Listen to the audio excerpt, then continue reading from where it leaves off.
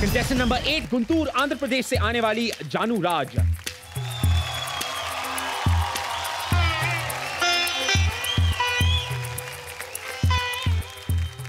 आज भी मेरी यह कोशिश रहती है कि मैं किस तरह से अपनी भारतीय संस्कृति को कायम रख सकूँ।